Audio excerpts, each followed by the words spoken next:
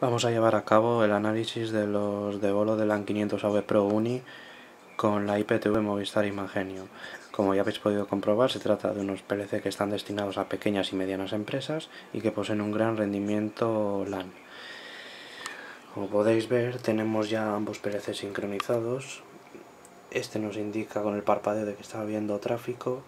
Este indicador además eh, nos podría indicar la cobertura que existe entre los dos PLCs en lo referido a velocidad, adquiriendo colores el verde, el naranja y el rojo.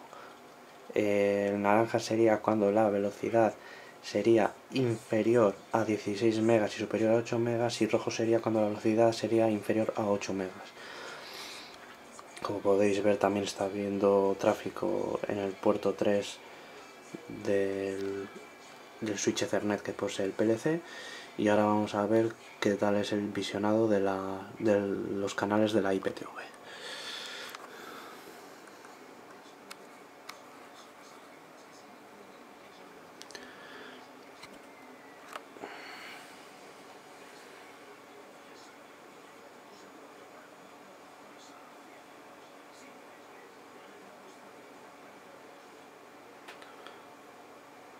Vamos a poner por en alta definición.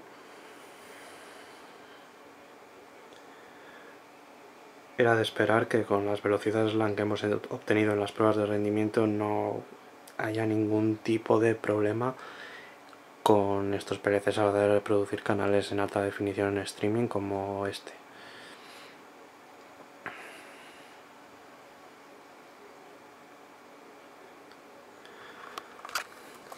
Después de ver el visionado de los canales os quería comentar que eh, los PLC se pueden gestionar con un software que viene incorporado en un CD, que es el, el AV Pro Manager. Mm, para que estos PLC funcionen no son plug and play, sino que tienes que crear una red con ese programa y tienes que añadir ambos PLCs a la red para que sean capaces de verse entre ellos.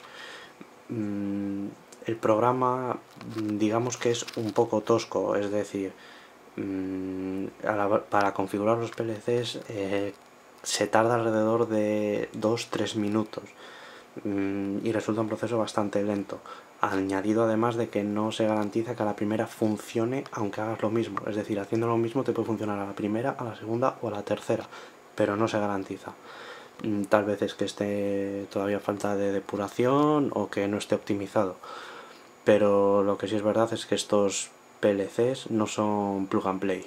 Sin embargo, se pueden, como ya hemos dicho en el análisis, se pueden adquirir de forma individual y son compatibles con otros modelos de, de bolo como por ejemplo los de bolos de la, los de bolo de LAN V Triple Plus que son domésticos o los AV.